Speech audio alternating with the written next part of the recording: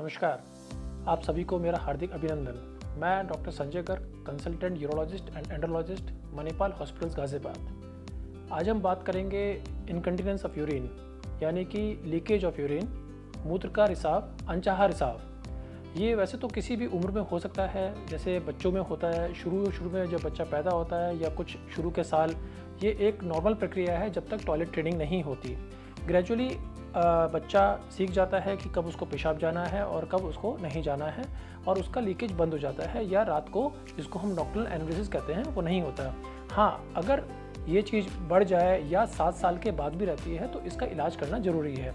लेकिन हम आज बात करने जा रहे हैं urine incontinence in adult ladies में और जेंट्स में, आदमी में और औरतों में, दोनों में ये देखा गया है कि लीकेज ऑफ़ यूरिन हो सकता है, जो अनचाहा होता है, अनचाहा मूत्र रिसाव। लेकिन विशेष रूप से मैं आज बात करने जा रहा हूँ औरतों में यूरिन इनकंटिनेंस की। मुख्य रूप से ये दो तरह से होता है अर्ज़ यूरिन इनकंटिनेंस और stress urine incontinence urge urine incontinence का मतलब क्या है कि जब पेशाब की थैली भर जाती है या उसमें कुछ पेशाब इकट्ठा होने लगता है और पेशाब की थैली अचानक तेज़ी से या हमें इच्छा हो कि यूरिन जाना है, एक अर्जेंसी होती है तो before we wash we reach the loo हमारे वॉशरूम पहुँचने से पहले अगर वो यूरिन लीक कर जाए तो उसको बोलते हैं urge incontinence whereas stress urine incontinence क्या है? अगर हमारे पेट पे किसी तरह का दबाव पड़े, जैसे खांसी से, अचानक उठने से, छींक से, या कई बार लेडीज़ जिमिंग करती हैं तो उसमें कुछ प्रेशर पड़ता है। उस दौरान अगर कुछ बूंदें निकल जाएँ तो उसको बोलते हैं स्ट्रेस यूरिन इनकंटिनेंस कई बार ये भी देखा गया है कि लेडीज़ में दोनों तरह के फीचर सिम्टम्स होते हैं। मतलब मिक्स्ड यूरिन इनकंटिनेंस बोलते हैं इसको, जिसमें अर्ज़ इनकंटिनेंस भी है और स्ट्रेस यूरिन इनकंटिनेंस भी है। एक अलग तरह की इनकंटिनेंस और बोलती है, जिसको बोलते हैं ओवरफ्लो इनकंटिनेंस ओवरफ्लो इनकंटिनेंस का मतलब होता है कि पेशाब की थैली जब पूर्णतः भर जाए और वो और पेशाब अपने अंदर होल्ड नहीं कर सके तो कई बार जैसे कि एक बाल्टी छलक जाती है, इस तरह से पेशाब की थैली भी छलक जाती है। इसको बोलते हैं ओवरफ्लो इनकंटिनेंस ऑफ़ यूरिन तो जैसे मैंने बताया, मुख्य रूप से हम बात करने जा रहे हैं अर्ज़ यूरिन इनकंटिनेंस और स्ट्रेस यूरिन इनकंटिनेंस की। अर्ज़ यूरिन इनकंटिनेंस अर्जेंसी के बाद होता है तो कुछ ना कुछ ऐसी प्रक्रिया होती है जिससे कि पेशाब की थैली ज़्यादा सेंसिटिव हो जाती है। और ज़रा सा भी पेशाब भरने पे या जब अर्जेंसी होती है तो वो तुरंत ही इतना ज़ोर मार जाती है कि हमें यूरिन लीक कर जाता है। ये लीकेज ऑफ़ यूरिन हमारे कई बार हमारे कंट्रोल में नहीं होता या वॉशरूम पहुँचने से पहले हमारा लीक हो जाता है।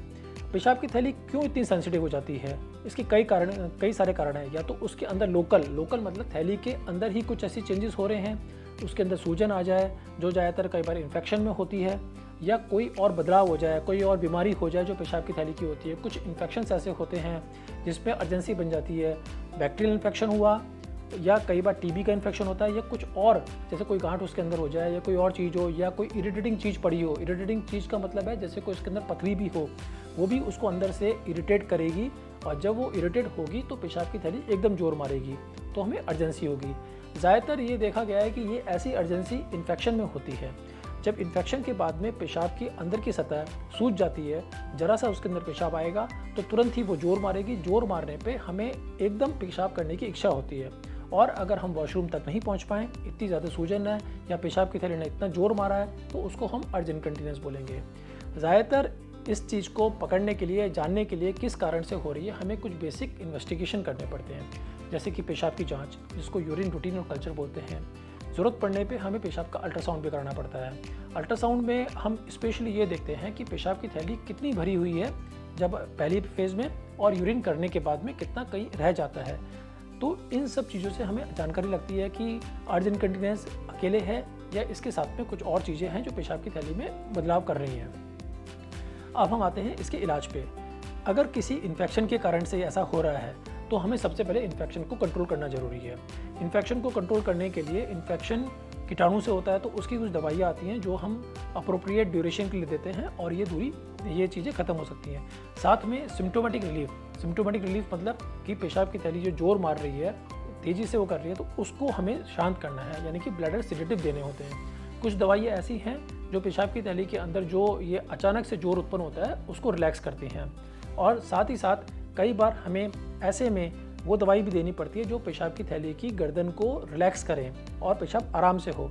तो इन कॉम्बिनेशन को और ये कॉम्बिनेशन किसको कितना देना है, क्या दवाई देनी है, ये हर एक पे हमें पेशेंट को देख के, उसकी जांचों को देख के तभी एवं दिया जाता है। तो इस तरह से जैसे कि ये अर्ज़ इनकंटिनेंस का जो इलाज है, ज़्यादातर केसेस में हम इसको दवाइयों से कर सकते हैं। बेसिक जो कॉज है उसका, चाहे वो इन्फेक्शन है, पथरी है या कोई और बीमारी है, उसको दूर करेंगे, साथ में दवाइयाँ देंगे तो ये ठीक हो जाता है। अब हम बात करते हैं स्ट्रेस यूरिनी इनकन्टीनेंस की। स्ट्रेस यूरिनी इनकन्टीनेंस कई बार लेडीज़ में बहुत कॉमन होती है मल्टीपल डिलीवरीज़ के बाद में। क्यों ऐसा होता है कि जो इसमें दो तीन चीज़ होती हैं। जब डिलीवरी होती है नॉर्मल डिलीवरीज के बाद में, जो अंदर का मस्कुलेचर होता है मसल्स होती हैं पेल्विक मस्कुलेचर होता है, वो वीक पड़ जाता है। उसका बाहर से सपोर्ट कम हो जाता है। बाहर से अगर पेशाब की थैली या उसकी जो नली होती है, उसको जो कंप्रेस करने का सिस्टम है, वो वीक हो जाता है। तो ज़रा सा भी पेट पर ज़ोर पड़ेगा तो वो यूरिन लीक कर सकता है। दूसरी बात क्या होती है, कई बार एक एंगल का बदलाव हो जाता है। वो एंगल क्या है? पेशाब की थैली और जो उसका बाहर का द्वार है या नली है, उन दोनों के बीच में जो एंगल है, अगर वो थोड़ा स्ट्रेट हो जाएगा स्ट्रेट होने के बाद में ज़रा सा दबाव पड़ते ही और मसल्स के वीक होने के कारण से यूरिन लीक कर जाएगा। हमारे ऊपर जो पेट पे प्रेशर पड़ेगा, ये कब कब पड़ सकता है? जैसे कि खांसी करने में पड़ सकता है, किसी को क्रोनिक कॉन्स्टिपेशन है, कब्ज की शिकायत है तो वो भी ज़ोर लगाएगा, तब हो जाएगा ऐसा। अगर ज़्यादा वीकनेस आ गई है मसल्स की तो अचानक ही बिस्तर से उठने पर कुर्सी से उठने पर या जिमिंग करने पर, इन सब में होती है। स्ट्रेस यूरिनी इनकन्टीनेंस को हम कुछ ग्रेड्स में बांटते हैं, उसकी सीवरिटी के हिसाब से, कितनी ज़्यादा है वो। अर्ली स्टेज पे, यानी कि जो ग्रेड वन इनकन्टीनेंस है, उसमें हल्की फुल्की कुछ बूंदें लीक करती हैं, वो भी ज़्यादा प्रेशर पड़ने पर। लेकिन अगर ये कई बार ऐसा हो जाए कि जरा सा भी पॉस्चर चेंज हो, थोड़ा सा भी पेट पे प्रेशर पड़े और यूरिन लीक कर जाए तो इसको हम हाई ग्रेड बोलते हैं, यानी कि सीवियर यूरिन इनकन्टीनेंस है। स्ट्रेस इनकन्टीनेंस अब स्ट्रेस इनकन्टीनेंस कैसे दूर करा जाए? शुरू शुरू में दवाइयों का रोल है, लेकिन वो बिल्कुल शुरुआत की बीमारी में है, जबकि ग्रेड वन इनकन्टीनेंस होती है, उसमें हम कुछ दवाइयाँ देते हैं जो बाहर के मसल्स को पेल्विक मसल्स को कुछ स्ट्रेंथ दें। तो वो दवाई शुरू में काम करती हैं, लेकिन ये दवाई लंबे टाइम तक खाने की ज़रूरत पड़ सकती है। और अगर ये दिक्कत बढ़ गई है, नहीं ठीक हो पा रही, तब क्या किया जाए? तब हमें कुछ सर्जिकल ऑप्शन सर्जरी करनी पड़ती है। सर्जरी कई सारी चीज़ें हैं जो इसमें सर्जिकल ट्रीटमेंट में आती हैं। मुख्य रूप से मैं आज एक चीज़ बताना चाहूँगा, वो है टेप सर्जरी टेप सर्जरी का मतलब होता है कुछ हम ऐसा स्लिंग लगाएँ जिससे कि हम पेशाब की थैली और वो जो नली है, उसका जो एंगल है, उस एंगल को जो बिगड़ गया था, उसको वापस से ठीक करने की कोशिश करें। इसके लिए हमें एक स्लिंग या उसको सपोर्ट देना पड़ता है।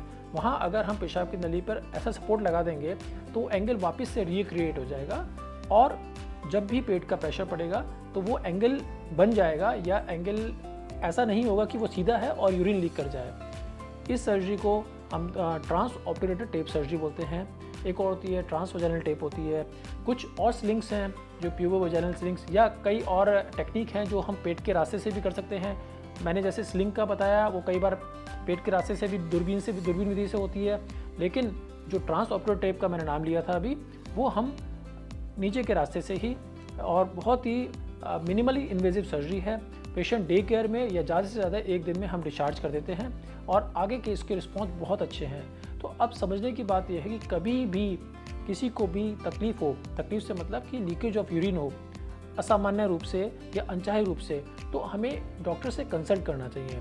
कई बार हमारे यहाँ सोसाइटी में क्या होता है कि हम इस चीज़ को दबा जाते हैं। खास तौर से लेडीज़ इस चीज़ को डिस्कस नहीं करती हैं। वो उनको शर्म आती है। तो अगर हम सही टाइम पे या इनिशियल स्टेज में अपने डॉक्टर से कंसल्ट कर लेंगे तो और बीमारी को पता पड़ जाएगा हमें कि किस वजह से हो रही है। कोई अगर उसके अंदर कुछ इन्फेक्शन है या कोई और कारण है तो उसका इलाज हो जाएगा। लेकिन अगर कोई मसल्स वीकनेस की बात है एंगल चेंज होने की बात है जो कि हम जांचों से कंफर्म करते हैं तो उसका अगर अर्ली स्टेज पे आएँगे तो जो भी कोई हम सर्जरी कर रहे हैं या मेडिकल ट्रीटमेंट दे रहे हैं, उसके बहुत अच्छे रिजल्ट्स मिलते हैं। तो बस मेरा सबसे यह अनुरोध है कि कोई भी अगर इस तरह की बीमारी से, अनचाहे मूत्र हिसाब से यूरिनरी इनकन्टीनेंस से ग्रसित है तो वो तुरंत ही अपने नज़दीकी डॉक्टर यूरोलॉजिस्ट से संपर्क करें और अपना इलाज कराएँ। धन्यवाद।